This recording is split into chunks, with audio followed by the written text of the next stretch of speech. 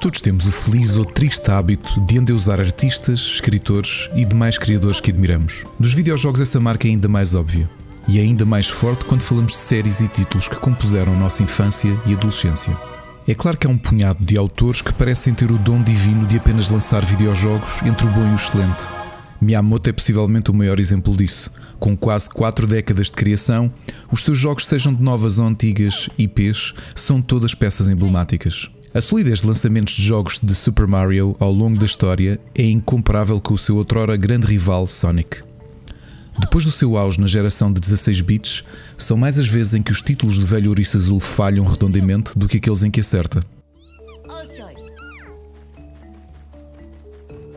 No final de 2015, Yuji Naka, um dos criadores de Sonic e de Nights into Dreams, criou algum burburinho com o lançamento daquele que foi o último jogo a ser lançado na Wii e que foi também lançado na Wii U e na 3DS.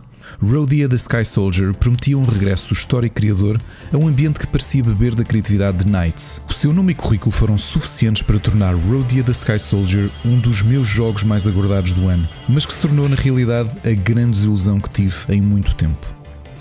Naka perdia assim parte da mística que sempre teve na minha memória. O endeusamento foi-se esfumando à medida que sentia que este meu santo tinha na realidade pés de barro. O recém-anúncio de Balan Wonderland pela Square Enix, com a promessa de um regresso de Yuji Naka, mas também do histórico character artist Naoto Oshima, artista de Knights e Sonic Adventures, não me deixou grandes expectativas. Um fato que tenho de agradecer ao quão terrível Rodia tinha sido há seis anos, que me deixou preparado para a colisão com mais uma desilusão vinda de Naka.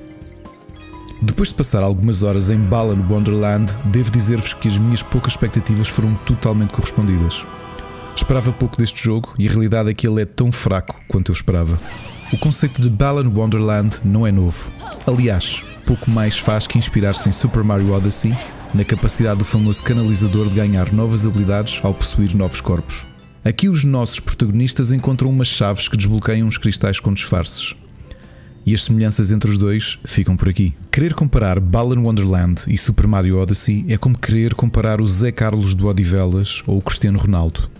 Zé Carlos, não sei se existes, mas se existires, peço desculpa por te comparar com Balan Wonderland. Tu és de certeza melhor jogador de futebol do que Balan Wonderland é um videojogo. Como é sabido, eu tenho uma grande paixão por jogos retro, com a nostalgia a fazer parte de alguns dos elementos com que olho para alguns jogos que vão saindo. Mas Balan Wonderland é old school, na pior acessão da palavra. É tão old school como aqueles jornais que ficam dentro de carros ao longo de anos e que já perderam a cor. É tão old school que não é nostálgico, é bafiento, parado no tempo. O controle do protagonista e dos seus mais de 80 disfarces é tão lento, tosco, que há muito que não pegava num jogo de plataformas tridimensional com controles tão horríveis quanto este. Há fatores agravantes nesta análise do quão mecanicamente horrível Balan Wonderland é. A primeira de todas é que custa 60 euros. Sim, 60 euros.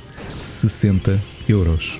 A segunda é que temos dezenas de casos de bons jogos do final dos anos 90 que já tinham resolvido grande parte da fluidez de controle de protagonistas em plataformas tridimensionais.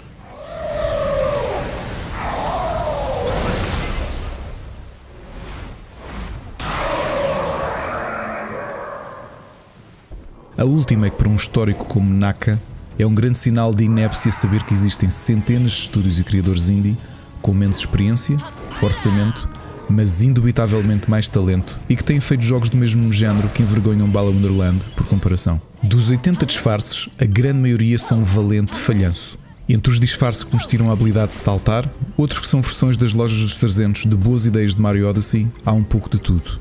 A forma de gerir os fatos é outro falhanço similar. Temos apenas 3 slots para os disfarces e quando apanhamos o novo, o que está mais à direita automaticamente é descartado. Muitas vezes vamos encontrar obstáculos que seriam melhor resolvidos com um disfarce específico, mas já não o temos. Azar o nosso.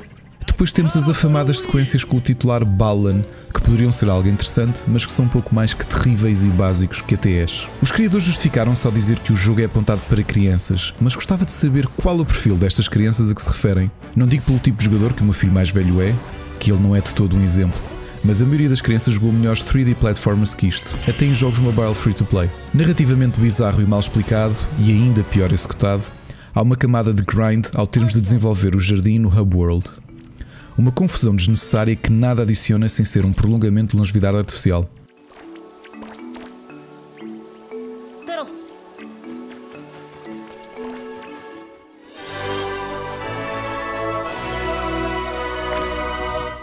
Wonderland não é divertido.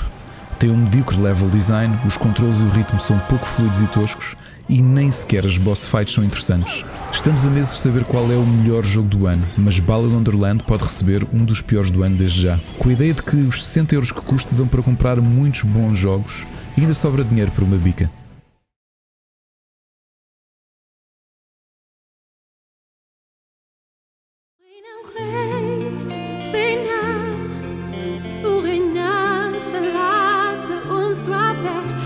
pitié.